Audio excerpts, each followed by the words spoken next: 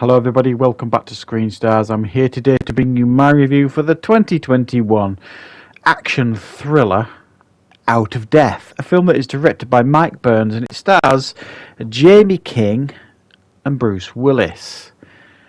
Now, this film follows uh, James King's character Shannon Mathers, who is returning to um, some mountains from her childhood to kind of. Um, spread her father's ashes. Whilst there, she witnesses um, some corrupt local sheriffs um, conducting a drug deal that goes bad. She takes some pictures because she's a photographer as well, um, and then she's obviously becomes um, target number one for this corrupt local sheriff's department. Bruce Willis plays a character called Jack Harris, who is a recently retired police officer who's also recently lost his wife, and he's going to these woods to stay in this cabin for a while to kind of, you know. I don't know, refine himself because he's suffering from a little bit of depression.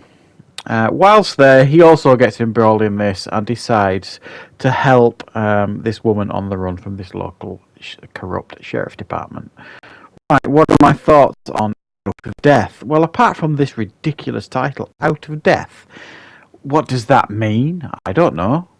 Um, it's it, it sounds like a 90s Steven Seagal title, doesn't it?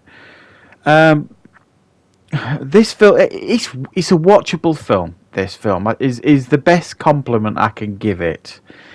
Um, I think many of us now, when we see Bruce Willis um, on the cover of these like straight to DVD films, and it's just a reminder of how far his career has fallen. Really, I don't understand why he keeps accepting these movies.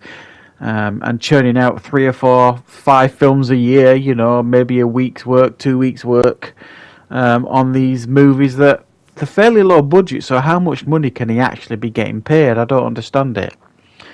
And his performances, for the most part, are terrible in these movies. And I've said it repeatedly when I've reviewed any of these films that he's done over these last few years.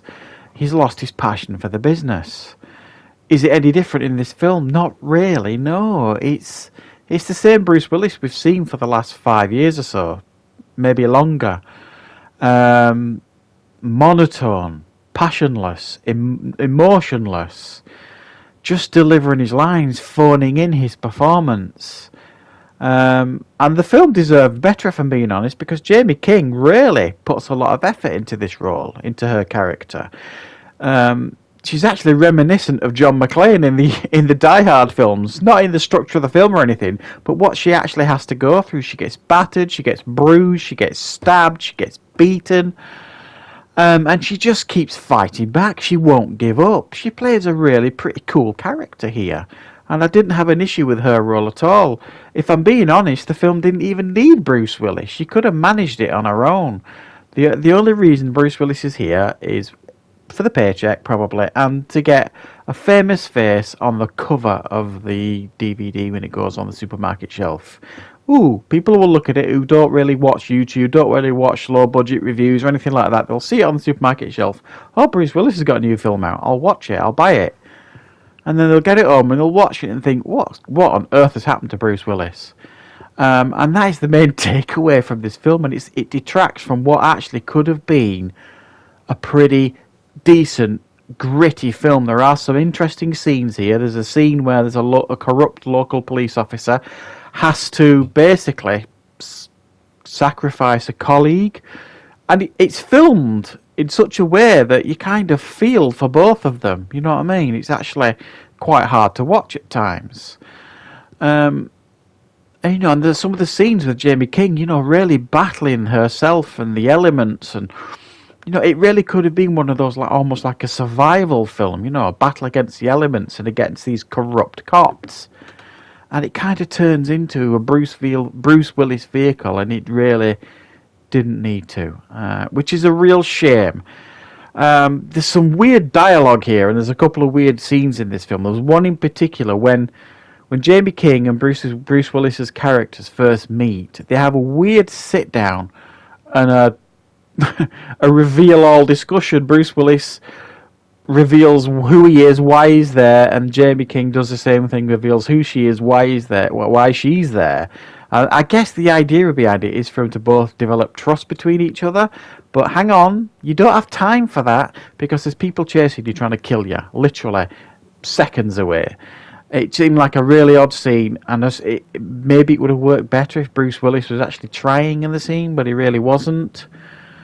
And the soundtrack as well, though, it, it doesn't help this film at all. It's like this southern twang of this soundtrack. It's it, it's it's like some cliched southern music, um, and I I almost felt like there was going to be a character shouting "squeal, piggy, squeal" at some point. It it it, it just didn't work. It was actually grating and annoying the soundtrack.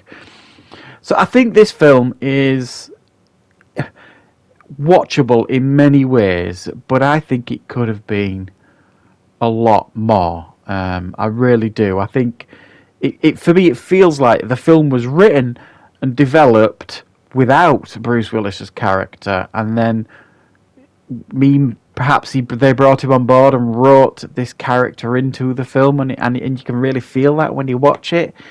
Um, and I do reiterate as well, it didn't need Bruce Willis this film. Um, it was fine on its own without him. Um, but I suppose you know if you're a mega fan of Bruce Willis, then you're probably going to want to watch it. I don't imagine you're going to particularly enjoy it, but there are aspects of this film that are well made. It's got decent production values. There are decent performances by a lot of the cast, but it's a predictable film. Um, it's fairly generic. Um, so yeah, that's my review for Out of Death. I'll give it a five out of ten. It's certainly watchable, but that's the best compliment I can give it, unfortunately. So thanks for watching, everybody. I hope you like this review. I'll be back with more content on the channel very, very soon.